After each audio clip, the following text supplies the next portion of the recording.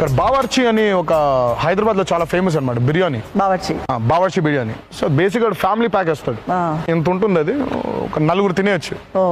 నేను ఒక్కడిని ఒక సిట్టింగ్లో తినేస్తాను. తినేసే వాడిని. అంటే ఇప్పుడు తినాలంటే